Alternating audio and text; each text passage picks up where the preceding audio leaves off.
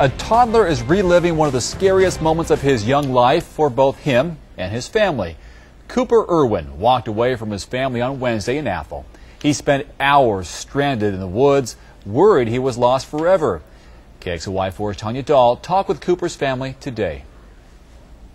This is bear, wolf, and coyote country, but one little man was unstoppable, despite over two miles of very rough terrain. We'll be just playing on that little playground. Cooper Irwin, along with his identical twin brother and cousins, were out building a fort on this playset Wednesday afternoon when the toddler vanished. I was getting in the house, getting the blankets, then he was gone. Two and a half year olds are curious, but when his family couldn't find him, Were you worried mm. for your cousin? Yeah. Yeah. Very, very worried. Panic mode set in. We searched the water, the buildings, and, you know, about 20 minutes after 20 minutes of looking, that's when we notified 911 that it kind of set in that he is not right around immediate areas. While Cooper's family, local law enforcement, and dozens of volunteers were searching for him, the tyke had wandered into nearby woods.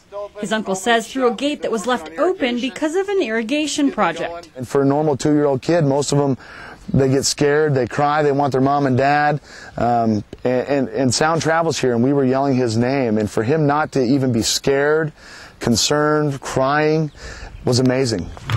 His family believes a toddler hiked over a mountain, crossed a creek, his little legs covering quite a distance. It's about 1.57 miles as a bird flies. If we were to drive it right now, it's about a little over six miles. About four hours later, Cooper was found near the intersection of Tweet and Good Hope by a neighbor who saw him wandering along the roadside on her way to work.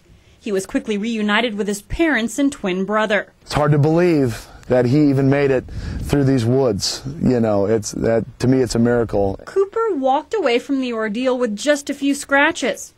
His uncle says the little boy was focused on two things carting along a wet shoe, worried he'd get in trouble for losing it, and looking for his cousin Austin. Our kids have already named him Super Cooper. Now this family's making it a point to stick together. Every door is going to be closed outside. That's what I'm going to do. In Kootenai County, Tania Dall, KXLY4, HD News.